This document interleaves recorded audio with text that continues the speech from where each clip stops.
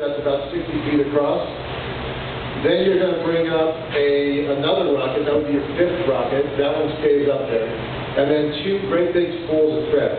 Now this video is about three, almost four years old, so it's, there's some stuff we've learned that's kind of outdated, but the concept still remains.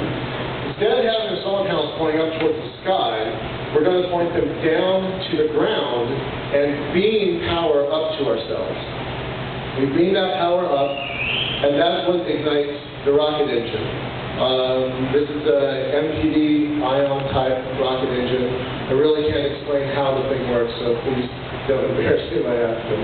Um, what we'll do is we'll drop the ribbon slowly and gently down back to the Earth. Now we start out at about 200, 300 miles up, that's low Earth orbit, and at the same time we push further and further out past geosync orbit, 22,000 miles out, all the way out 62,000 miles.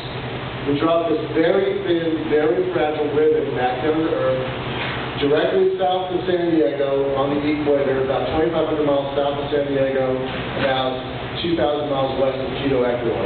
Basically, it's a big empty spot in the middle of the ocean. The nearest land is more than 500, 600 miles away. We drop it down to a ship anchored out in the ocean. Again, this video is old. This ship is radically different. We drop it out to this ship, and that's the first step. This ribbon is very, very small and fragile.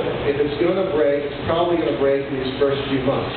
So what we immediately have to start doing is expanding it, widening it.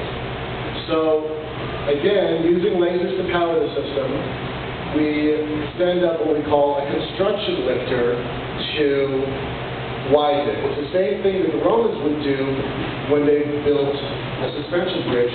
We're in the Seattle area, we're building a bridge right now that's using the same technique.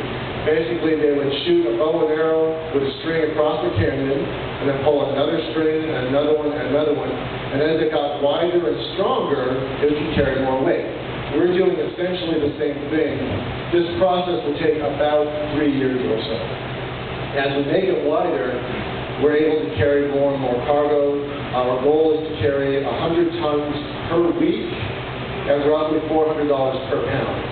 Uh, to put that in perspective, if the space shuttle flies at all, it flies two or three times a year. It carries 20 to 40 tons worth of cargo um, at an estimated cost of a billion dollars per launch.